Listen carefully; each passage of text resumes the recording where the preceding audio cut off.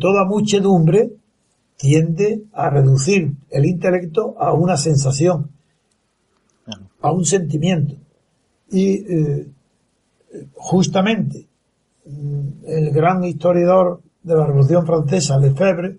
cuando dedicó su enorme monografía y su célebre monografía sobre el miedo que produjo en los campos franceses, en las provincias, la noticia de que los aristócratas, como reacción a la toma de la Bastilla en la Revolución Francesa, iban a diezmar y a incendiar las cosechas de los propietarios pequeños agrícolas, para explicar ese fenómeno del miedo inexistente, porque era un rumor que no tenía, no tenía sentido ninguno, ni tuvo para explicar por qué propietarios rurales pequeños se levantan, que estaban pacíficamente después de la misa del domingo, como en las costumbres españolas, alrededor de la iglesia, comentando los amigos, nada, paseándose, llega la noticia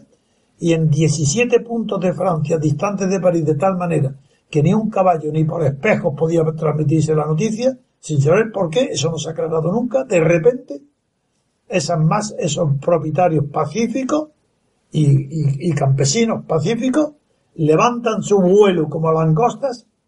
y se dirigen a los, a los castillos y palacios de los aristócratas y les prenden fuego y se arman para matar a quien encuentre. ese fenómeno lo explicó Lefebvre por, dentro de la psicología de las masas, eh, corrigiendo y dando una explicación más profunda que la que había dado Freud al clásico estudio francés sobre la psicología de las masas. Y lo corrigió Lefebvre en un sentido eh, muy eh,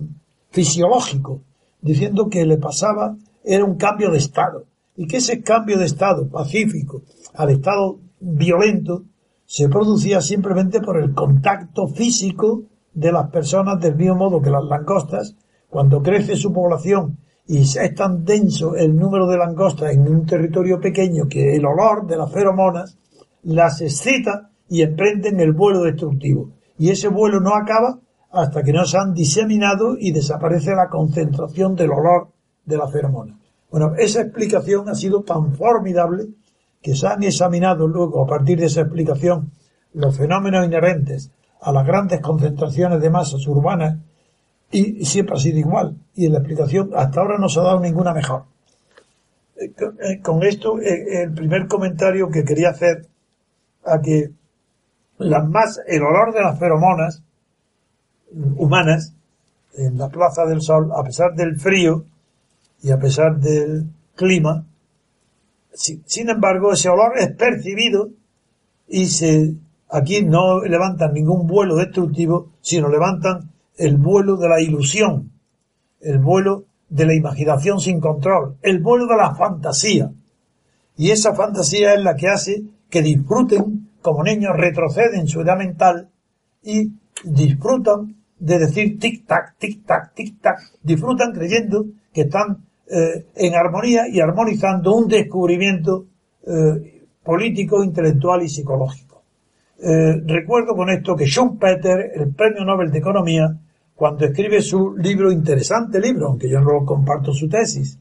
en la que demuestra que la política es un calco del mercado económico y que los partidos venden mercancías y que el acto de votar es como el de comprar. Después de todas esas comparaciones, dice y ahí sí que estoy de acuerdo con lo que dice luego. Aunque no con su explicación, que yo la daré después mejor. Creo que mejor.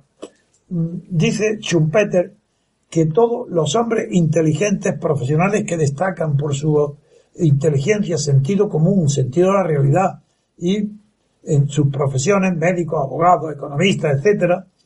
eh, tan pronto como entran en la escena política y votan, se comportan como niños eso de tic-tac, tic-tac, se comportan así. Por, y la razón que él da es diciendo que, primero, no están dedicados a pensar en política y votan una vez o dos o tres al año y cumplen con su deber, creen que su deber es votar, no saben que es un derecho y que no es un deber y votan creyendo que es su deber. Y como no les cuesta nada, no tienen que pagar para votar, el economista dice, cuando no se cuesta nada, pues se vota lo que sea, da igual que se equivoque. No, la explicación es otra. La explicación no es que se equivocan porque sea gratis votar, porque no haya que pagar un impuesto por votar. La explicación es que los intelectuales son generalmente unos ingenuos. El intelectual, los hombres geniales, incluso filósofos grandes, investigadores de física,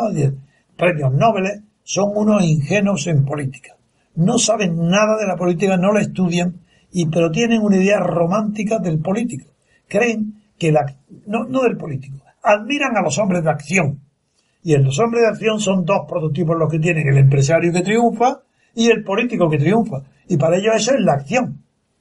Entonces votan a los que creen que han triunfado en la acción, que votan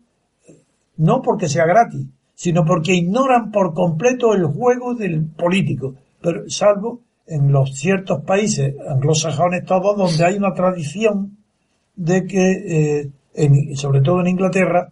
donde la cultura política ha sido formada a través del voto. Entonces, como se vota desde hace mucho tiempo, la cultura ya impide que se sea tan infantil o tan, sí, tan equivocado a la hora de votar. Lo que yo he querido recordar ahora es a Schumpeter, porque las masas que se reúnen en el sol diciendo tic-tac, tic-tac, son como niños de 6, 7 o 8 años. A los 10 años daría vergüenza decir tic-tac, tic-tac para emular que, hay, que está en, que el reloj se ha puesto ya en marcha.